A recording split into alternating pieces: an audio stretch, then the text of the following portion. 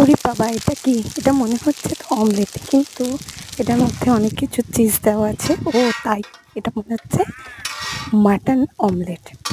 এবারে বুঝতে পেরেছি। খেতে টেস্টি হবে।